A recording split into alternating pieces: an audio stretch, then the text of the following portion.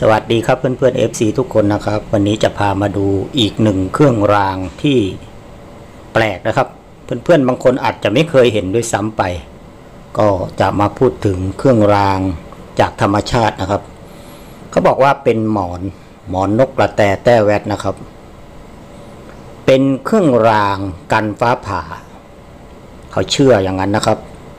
ในสมัยก่อนคนโบราณเล่ากันมาว่านกกระแตแต้แวดจะนอนหงายท้องครับ เอาขาชี้ฟ้า เพราะมันนอนหนุนหมอน ว่ากันว่าเป็นหมอนทอง หมอนนี้ถ้าใครได้ไปก็จะร่ำรวย หมอนนกกระแตแต้แวดจะเป็นก้อนเป็นหินธรรมชาตินะครับเพื่อนๆ ที่นกกระแตแต้แวดจะเลือกคัดสรรมาอย่างดี เพื่อนอนหงายหนุน หมอนแบบคนเลยนะครับ เหมือนของใช้ประจำตัวของนกแหละครับ เป็นของรักของหวง ว่ากันว่าแม้แต่ยามที่มันเดินก็จะเอาเน็บ ตรงปีกไปด้วยนะครับ ยามบินก็จะคาบไปด้วย การจะหาพบหรือขโมยของมันมานั้นยากมากนะครับ เป็นของที่หายาก ส่วนสาเหตุที่นกกระแตแต้แวดเวลานอนจะนอนหงายเอาเท้าชี้ฟ้า ก็เขาก็จะมีเรื่องเล่านะครับ เพราะมีเรื่องเล่ากันมาว่า กลัวฟ้าผ่าและฟ้าถล่มนะครับ จึงต้องนอนในลักษณะนี้ เมื่อคนรุ่นเก่าได้หมอนดังกล่าวมา เขาจะนำไปให้ผู้เรืองวิทยาคม เหมือนว่าเราได้หมอนหมอนนกกระแตแต้แวดมาแล้วก็จะเอาไปให้เกจิอาจารย์ หรือว่าผู้มีวิทยาคมปลุกเสกให้อีกทีนะครับ ให้เป็นให้เป็นมหาอุด บ้างก็ห่อผ้าใช้ติดตัว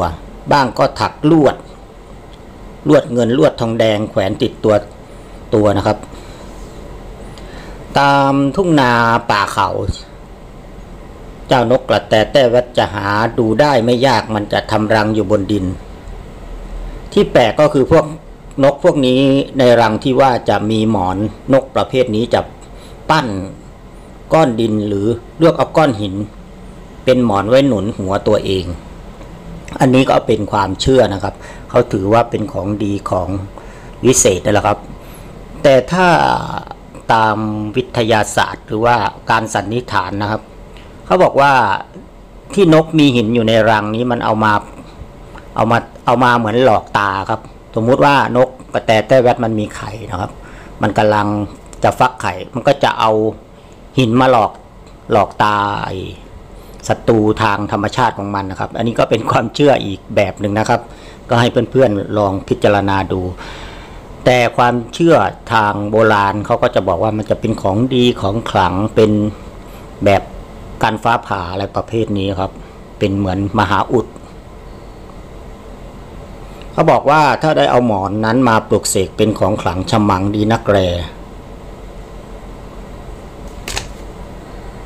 แล้วอีกความเชื่อหนึ่งนะครับ เขาบอกว่า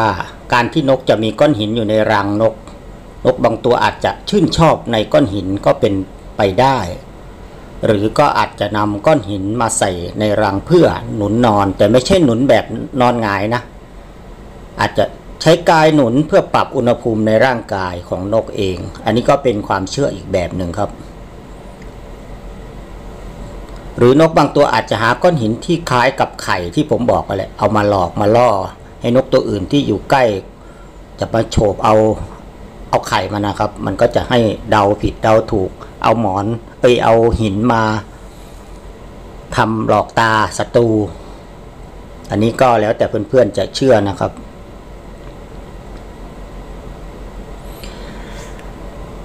แล้วก็เรื่องนก กระแตแต้แวดนอนหงายนี้มีปรากฏในคัมภีร์ทางพระพุทธศาสนาเหมือนกันนะครับ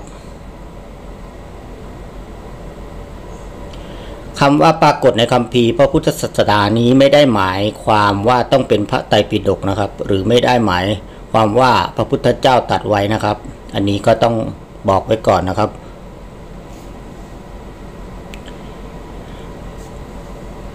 เป็นความเชื่อของของคนท้องถิ่นมาเล่าคำพูดของใครบางคนแล้วยกขึ้นมาเป็นตัวอย่างไว้ ไม่ได้เกี่ยวกับเชื่อหรือไม่เชื่อนะครับ ก็ใช้วิจารณญาณดู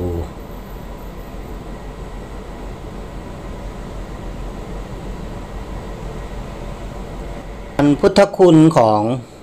หมอนนกกระแตแต้แวดนี้เขาก็บอกว่าเป็นหินดักทรัพย์นะครับเพื่อนๆทำให้เงินขังตัวอยู่ ก็ใช้แก้หวงจุ้ยส่งเสริมหวงจุ้ยทางการเงินได้เป็นอย่างดีนะครับ มีแล้วรวยเป็นของค้ำคูณ คุ้มครองป้องกัน และสลายพลังร้ายๆต่างๆทำให้อยู่เย็นเป็นสุข นอนหลับสบายครับนี่เป็นความเชื่อนะครับ เป็นความเชื่อส่วนบุคคล ว่าถ้ามีไว้ก็จะเกี่ยวกับ เกี่ยวกับดูดซับครับ ดูดซับแล้วก็แก้แก้ห่วงจุ้ยอะไรอย่างเงี้ย อันนี้ก็เป็นความเชื่อนะครับเพื่อนๆสำหรับใครที่กำลังสนใจว่า หมอนนกกระแตแต้แวดพุทธคุณด้านใดก็เกี่ยวกับเกี่ยวกับเงินเงินทองทองครับ เกี่ยวกับดูดซับประมาณนี้ครับผม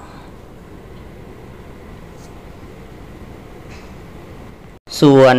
ราคาซื้อขายนะครับ มันมันแล้วแต่คนนะครับ แล้วแต่คนชอบวัตถุมงคลแนวนี้ ไปดูราคาแล้วก็อยู่ในหลักพันนะครับสามถึงสี่พันนะครับ แพงเหมือนกันนะครับ แต่ส่วนมากที่